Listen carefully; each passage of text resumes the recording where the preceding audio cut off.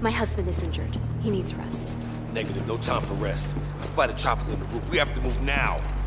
Then we go up. What? You can take it, I can fly it. Like it or not, that's the plan. Unless you